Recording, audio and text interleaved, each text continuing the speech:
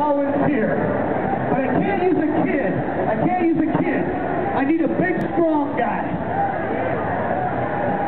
I need somebody strong. I'm kidding. I'm kidding. But I'm, I'm thinking this guy right here, sir. You look, you look like. Can you, can you? Did I wake you up? Or are you playing Pokemon Go or something? What's going on here?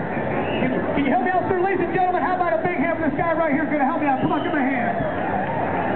Thank you, sir. How are you doing? What's your name?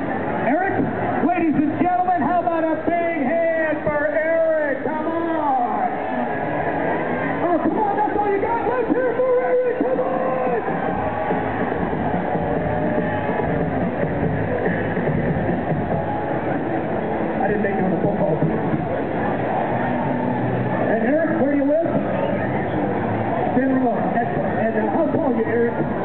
Six two. Perfect. That's the exact height you need to be to learn to ride a unicycle. Eric